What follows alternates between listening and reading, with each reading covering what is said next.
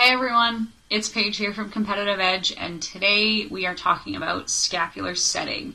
Um, the first thing is what is scapular setting? So, this is a postural cue exercise that we utilize um, with all of our upper back, neck, shoulder patients.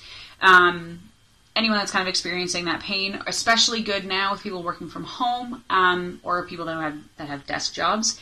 Um, we're really focusing on taking those shoulder blades, what we call the scapula, the shoulder blades, um, down and in in a really strong position. Um, it gives us a really good foundation to do any of the shoulder exercises or anything like that, um, and really helps in maintaining posture. Kind of takes us out of this forward forward roll and brings us into a nice, strong, um, confident posture.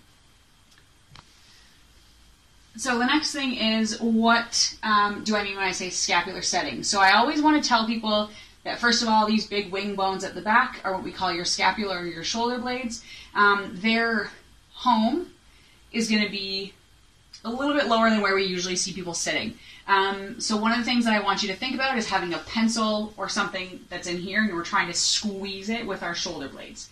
Um, so with that being said, there's two muscles here that we really want to focus on activating. So we want to bring the shoulders down from the ears. We're thinking broad shoulders and down from the ears. So broad shoulders, long spine, and we're really focusing on squeezing these muscles in here and bringing those shoulder blades down towards the spine.